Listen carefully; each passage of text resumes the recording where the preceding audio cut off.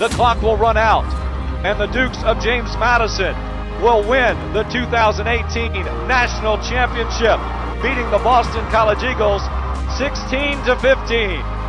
The Dukes are the champs.